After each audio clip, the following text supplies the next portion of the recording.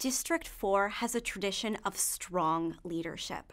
My name is Vanessa Aronson, and I'm running for City Council to continue this tradition and stand up for New York and the East Side. I'd like to tell you a little about myself and ask for your vote on September 12th. I was born outside of Chicago and faced adversity in my childhood, including personal mobility issues and the sudden death of my father when I was nine. My family persevered through these difficult times for one reason the community of friends, family, and neighbors who stood by us.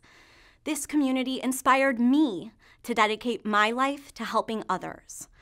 And so, I have spent my entire career in public service.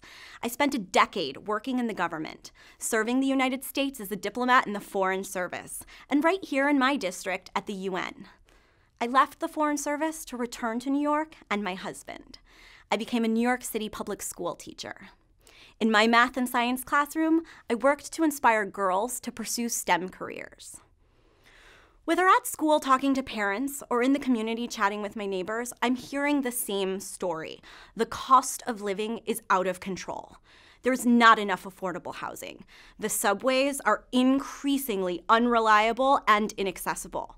Local mom and pops are shutting down, and our classrooms are overcrowded and under resourced. These are, are urgent problems, but we cannot be discouraged. My former boss, Hillary Rodham Clinton, inspired me to not just think about the problems, but to be a part of the solution. I will dedicate my passion and perseverance to ensuring that everyone has access to New York's full promise. I'm Vanessa Aronson, and I thank you for your vote on September 12th.